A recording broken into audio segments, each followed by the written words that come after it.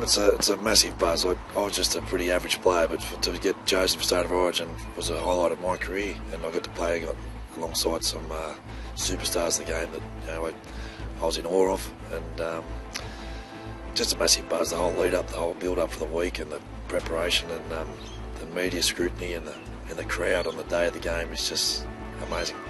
Getting out of the opposition defence. There's this first scrum that we were talking about. Yeah, Is throwing the first one, and we'll have plenty involved in just a moment. Well, they've come from everywhere like it was almost a rehearsal.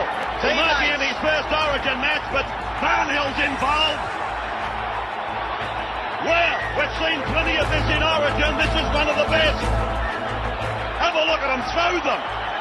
Barnhill's let three go. He still hasn't found the mark. What about the Manly teammates, Hopoate and Moore? Reminds you a bit of Beetson and Cronin back in the first ever one. Well, this has been the best thing.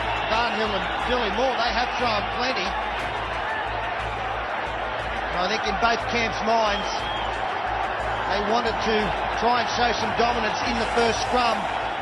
Well, there was talk all week about there being a fight, and the and the coach changed the team around a bit, and um, I think they started with myself and Greg Florimo in the team, and we knew there was going to be a fight in the first scrum.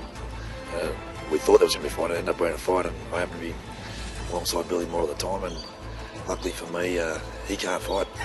I'm not much, not very good myself, but uh, we've definitely uh, it's been a talking point every year from then on. Every time the State of Origin series comes up, it gets a bit of a plug, and my phone starts ringing. Yeah, I run the hotel called the William Farrer Hotel, so if you're ever down that way, drop in. Um, been there for about 10 years and I enjoy the hospitality industry. It's it's a good, good,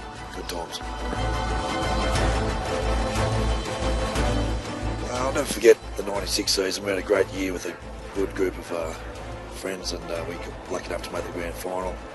Um, couldn't do the job on the day, but we had a pretty successful season, I think.